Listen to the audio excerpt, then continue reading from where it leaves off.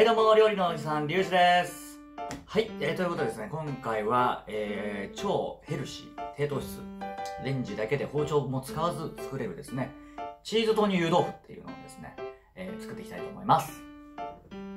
まず材料ですね、えーこちら、えっ、と、絹ごし豆腐ですね。まあ、木綿でもいいんですけども、あの、この、えーコンビニとかでよく売られてる 150g のが、えっ、と、いいですね。えーあと、とろけるチーズが2枚、えーあと、これ豆乳ですね。大さじ5杯、75cc ですね。はい、まずですね、えーレンチン可能な器を用意していただいて、ここに、えっ、と、お豆腐を入れます。こんな感じですね。で、ここに白だし、はい、大さじ1ですね。はい、豆乳を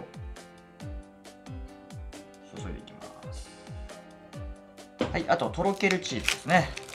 もう1枚。で僕はね、チーズがたっぷりの方が、えー、と好きなので、えー今回ね2枚使っていきます。こんな感じですね。はい。で、この状態でレンジ、えー、600ワット2分30秒ですね、えー加熱します。えーラップはしなくて結構です。はい、できました。はい、これがチンした、えーものになりますね。えーここに、えーブラックペッパーを、えーかけて、はい、これだけで完成です。はい、それではできましたので、早速食べていきたいと思います。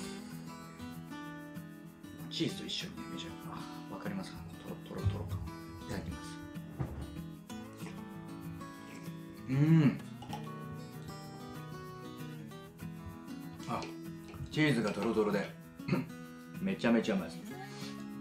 で、一番の特徴が低糖質なので、なんかこれ一食でお腹結構膨れちゃいますんで、えーまたね、お酒にも合うんです、これ。なので皆さん、ぜひ作ってみてください。